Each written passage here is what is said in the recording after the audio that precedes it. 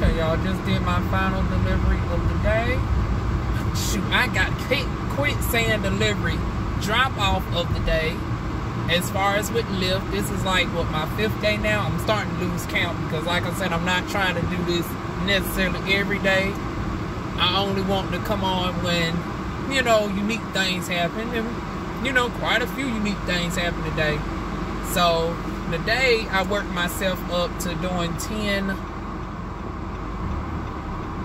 I worked myself up to doing ten um, drop offs today.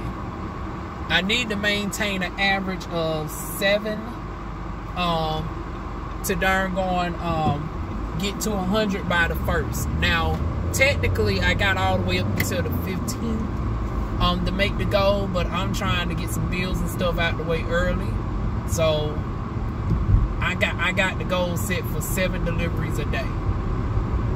So first, um, few earlier today, I got my first return um driver.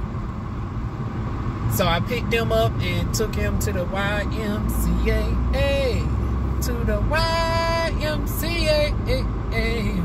YMCA. So took him to the YMCA. The other ones weren't memorable. It was like, you know, regular drop offs or whatnot. But yeah, that was earlier today. And then, oh my goodness, child eye candy finally came into the car that was age appropriate. I said, okay. you know, granted he was, you know, on the opposite end of the spectrum. He he was uh he was a Brad, but you know, the Diva Wuan don't discriminate, honey. He, he and he was going to the gym too. I was like, Lord Diva, keep your professionalism, girl. So that was interesting. Yeah, I did take a peek this time, but that bad one. but yeah, he, you know, child. Mm, mm, mm. Now they say you don't post to encourage bad behavior, but honey, if he would have ended at anything, child, he he, he could have got it. Now he wouldn't have got it on the clock. Now we we would have. I, I would have still kept my professionalism. We would have had to end the darn going uh, ride early and I would have got my darn gone payout a different type of way, honey. Ugh. Child, come on and turn into this Dunkin' Donuts. I hate when people darn going do that shit. It's like turn your turn sitting on in an appropriate manner. That's how car accidents happen. Going to stop right darn going knowing that several cars are right behind you. Ooh that work that hurts my nerves, y'all. But anyways, honey, yeah, old Brad was looking quite darn on scrumptious. He, he had to be like 25, 26, so he was very much age appropriate. The next round of people I picked up, not so much. Matter of fact, I just got my first person who sat in the front with me, and I was like, ooh. And that was only because it was three people this time. It was three boys that were like uh, I put them between 16 and 19 years old. Although the third one could have squeezed his ass back there as well, but you know, I ain't say shit. And besides, they was going straight to Sleepy Hollow. I was like, okay, that, that's right, not too far down that way for me. So, dropped them. And then I'm heading into the house, right, thinking that was it. I said, but damn, I'm in and off at ride number nine. It would have been nice to at least darn go and make it to ride number 10 and sure enough, as I'm going down towards my house, I get a notification for Fayetteville State University. And y'all know normally I can't stand Fayetteville State for deliveries, but I said, okay, this is a pickup though, so it might be different. And I'm noticing with the GPS, the GPS is a lot more accurate with pinning you directly to where your person is. Because, well, except for my last couple though. I had a couple right before that were one was white, the other one was like Indian or something, Hispanic. He was yellow tone. But anyways, I picked them up at the laundromat near the flea market, Bragg Boulevard, dropped them off at the mall, and the GPS was off with them. But as far as on um, State though, Honey, that darn on GPS navigated me all the way right to the Renaissance Hall. But it just had the building name. It just had um, State University. But it pinned on his phone location directly towards where he was at. So I do like that compared to DoorDash be honey. It'd be drastic, y'all. Although you know, Lyft has its issues too at times, because y'all know the very first day, honey, I was two blocks off from where my darn old person was. So I'm glad that they done got it together in regards to that. But yeah, y'all, those have been my deliveries for the day. Dropping off many different teenagers.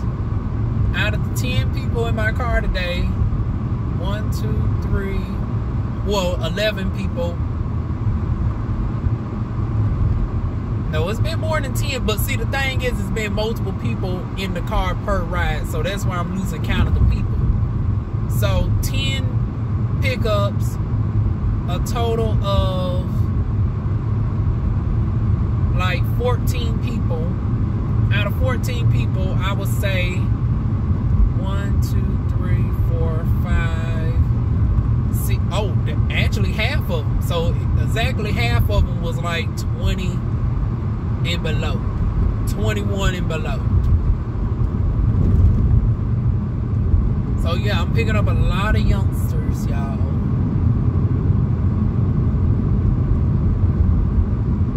I ain't picked up too many elderly folks. I've only picked up a couple.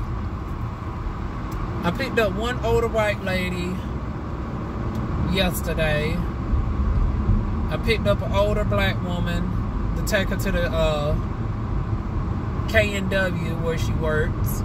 She was like 50s and the white one was like her in her early 60s not too many seniors yet y'all. But i've been getting a fair balance of everybody. I, I think i can say at, at this point in the game i done picked about every type of demographic orientation um age background per se that you can think of for the exception of I haven't picked up an Asian person of any type of background. Well, except for the possible person that could have been Indian. I don't know. Like I said, he was yellow. But I think he was more so Hispanic. But I haven't picked up no show enough Chinese, Japanese, Korean person. Have not picked up no Native American. But everybody else I done picked up. Black, white, different shades, different hues, different ages, different orientations. Drop people off at the airport. But I ain't picked up nobody at the airport just yet. Uh-uh. I'm not trying to deal with that stress just yet. Because with the airport, I, I think there's a whole different protocol for that. Because it's like, I think you either got to be in a certain lineup with so many different Uber cars and whatnot and then you got to get outside your car to make sure they can see you amongst all the other cars. Or you might have to go inside the airport and hold up a little sign saying, hey, this your Uber. It's like, or this your Lyft. I ain't trying to do that just yet. I know it probably pays out a little, uh, a, a great deal more, but honey, I'm trying to take advantage of taking, uh, getting all these little three, four dollar trips that nobody don't want because of the fact that it saves on the mileage, y'all. Because I know some of y'all saying, oh, this is going to burn on your car. You're to be, you know, driving like a thousand miles a week. Uh, not if I keep doing these three miles here, five miles there. Actually, it's putting the mileage on my car that I normally would burn in a given month if I was driving like a regular person. Because y'all know, up until this point, I made it, what, seven months and only put like 5,000 miles on my car. So it's really just making up for the lack of mileage that I actually put on my car because per year this car supposed to have up to 15,000 miles on it. And I'm nowhere near that. Next year will be a, a whole year that I've had this car and to date I've only have 8,000 miles that I've put on it. So yeah, so if I keep doing it like this, it's definitely not going to wear and tear on my car like that. I've only took that one trip because I felt sorry for old boy uh, that he was stranded in Fayetteville. So I took that one trip to Jacksonville. That's it. That, that ain't about to be no regular occurrence. Oh, hell no. So, today, out of 10 trips, I made $41. Ugh. Like I said, we're looking at the long game, honey. So, I'm up to 42 deliveries right now. So, I got 58 more to go. And I think the day's the 22nd, right? So, if the day's the 22nd, one, two third, two four, two fifth, two six. Eight days left. Or is it 31 days in this month? So let's say I got nine days left. Nine divided by 58, you're looking at like pretty much still like six point something something. So pretty much I got to do like seven deliveries a, the day. But the weekend is where it's busy. And I don't know if that's going to be a good thing for me or a bad thing. Because at first, it was like I'm starting to notice a longer time period before I start getting, you know, ride acceptances. Versus earlier in the week, ironically, it was back to back to back to back. So I was like, wait a minute. Now, why is it saying on the weekend that, you know, is busier, but I'm getting less ride requests. So I'm thinking that the veterans are taking advantage of, you know, unlocking the bonuses and stuff by because the, I noticed that the bonus, the upgrade to your levels and stuff is on the weekend. So I guess it's more competition on the road versus in the weekday, not so much. But still, despite that, um, this is the most deliveries I've done throughout the day. 10 deliveries. So if we keep on with this trajectory, hell, I might darn gonna be set a little bit earlier than I thought.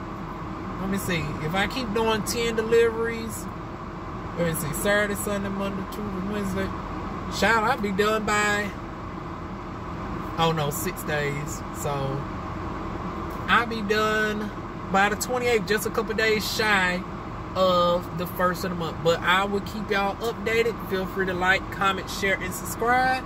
And I'll see y'all soon with more videos.